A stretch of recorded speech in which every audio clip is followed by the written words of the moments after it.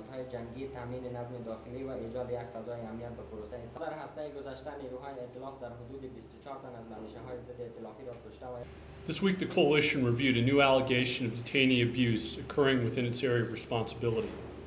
The Naval Criminal Investigation Service is looking into the allegation. Because it is currently under investigation, we cannot provide any specific details regarding the allegation. Coalition treats all such allegations seriously and will take appropriate action based on the outcome of the allegation.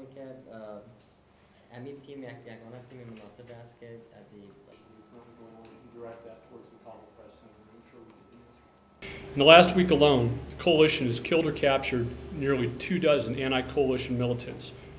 Coalition forces increasingly, with the help of local Afghans, continue to find and destroy weapons caches in areas formerly considered safe havens by the Taliban and other terrorists. تشکیل می‌دهد. با تاریخ 25 اه، با تاریخ 25 جون سال جاری یک کندک خنزیر اتفاق افتید.